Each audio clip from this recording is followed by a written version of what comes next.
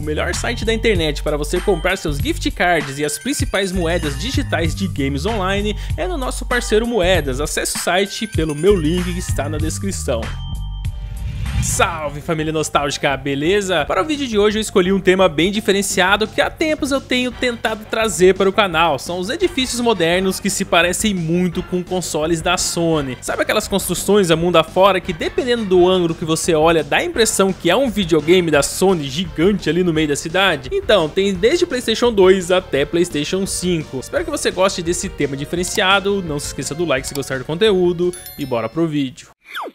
Vou iniciar esse vídeo com o edifício a Contour Tower, que coincidentemente ou não faz muitos jogadores lembrarem do protótipo da Atari que depois se tornou o Playstation 2 que conhecemos hoje. Esse protótipo se chama Atari Falcon 030 Microbox, e lado a lado com o prédio as semelhanças são inegáveis, parece que tem o protótipo da Atari de pé ali no meio da cidade. Muito se fala se esse protótipo aí realmente foi inspiração pro PS2 e tal, mas a própria Sony faz referência ao Falcon 030 e 040 da Atari em sua patente para o console PlayStation 2. Então a Sony mesmo admitiu que foi inspiração. Sim, mas e o prédio? Foi inspirado ou não? Bom, assim como todos os edifícios que eu vou apresentar nesse vídeo, eles são muito mais antigos que o console. O Alcontor Tower, por exemplo, foi construído em 1976 e por muitos anos foi o edifício mais alto da Finlândia, onde ele está localizado. E voltando para o protótipo da Atari, o que mais me chamou a atenção é que o botão Power do aparelho eletrônico aí lembra bastante a logo que está lá no prédio até as cores são semelhantes, é muito parecido mesmo. O mais óbvio, né, se você parar para pensar, é que algum desenvolvedor tenha se inspirado nesse prédio da Finlândia aí, ou é só coincidência mesmo, até porque não há nada oficial falando a respeito. E só nos resta imaginar, né, será que foi inspirado ou não? O que, que vocês acham? Se parece ou não com esse videogame? Comenta aí.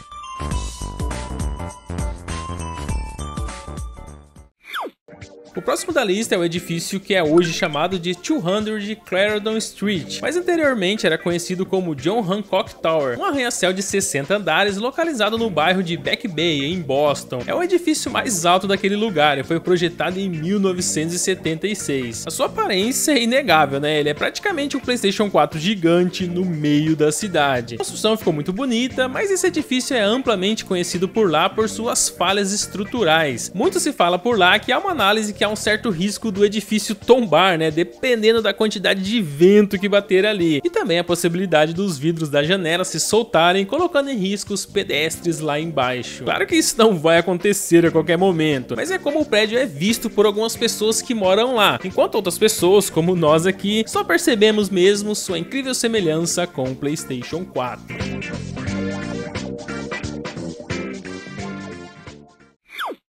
Já uma construção que é a cara lavada do PlayStation 3 é Parks Tower, um arranha-céu de 30 andares e 149 metros, localizado no complexo Namba Parks em Osaka, no Japão. Esse shopping center foi construído em cima de um antigo estádio de beisebol e sua reputação é a inovação de um conceito arquitetônico ecológico, já que esse shopping apresenta uma cobertura vegetal em vários níveis, tem muita coisa verde lá, muita planta e tal. É praticamente um parque ecológico disfarçado de shopping center. Parks Tower foi projetado em 2003 e mais tarde ganhou o apelido de Edifício PS3 em 2010. E a razão para isso é óbvia, né? A notável semelhança com o console PlayStation 3 original, aquele FAT, aquele primeiro PS3. Esse sim é famoso pela semelhança com o console da Sony.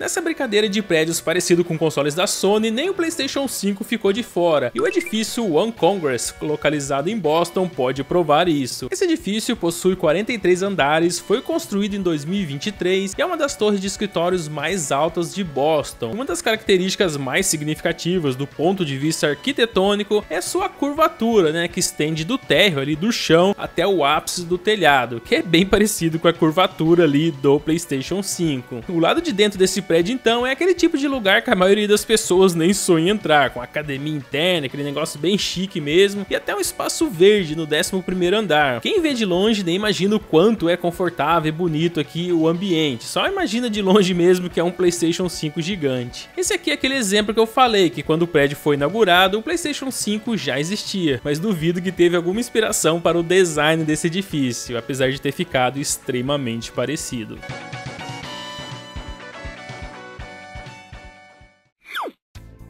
por último, um prédio que dependendo do ângulo que você olhar, é a cara lavada do Playstation 2, o Playstation 2 Fat original mesmo. Eu estou falando do 568 Collins Street, um arranha-céu localizado em Melbourne, na Austrália. Esse edifício começou a ser construído em 2012 e só foi inaugurado em 2015. O arranha-céu atinge 224 metros de altura, tornando um dos edifícios mais altos de Melbourne. E essa torre inclui 588 apartamentos residenciais distribuídos por 69 andares. É um prédio gigantesco. E o que mais caracteriza o edifício que se faz, né, que faz ele ser chamado de PS2 é sua cor escura, a estrutura das janelas ali, que é bem parecido com as linhas do PlayStation 2, e a divisão vertical, né, do começo ao fim, que lembra bastante o PS2 Fat. Sem contar o topo da torre então, é praticamente o PS2 de pé ali na sua mesa. Apesar de muita gente questionar, eu achei muito parecido. Mas o que você acha? Parece mesmo com o PS2 ou eu estou forçando a barra?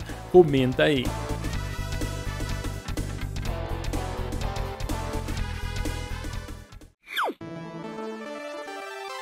É isso aí família, esses foram alguns edifícios que lembram demais o console da Sony. Eu realmente procurei outras construções que lembrassem outros consoles, sei lá, da Nintendo, da Sega e tal, mas não encontrei, só achei da Sony mesmo. Resumindo, ou é muita coincidência, ou os funcionários da Sony gostam muito do design desses prédios e por isso sempre se inspiram neles. Espero que você tenha gostado do conteúdo, eu sempre tento trazer temas diferentes dos convencionais aqui para o canal e espero realmente que esse vídeo tenha um certo alcance aí no YouTube. Não se esqueça do like, se inscreva se for por aqui. E quando precisar comprar gift cards é só acessar o Moedas, é o primeiro link na descrição, só acessar ali, faz o seu cadastro, vai me ajudar demais. Mas por hoje é só, eu vou ficando por aqui e até a próxima. Fui!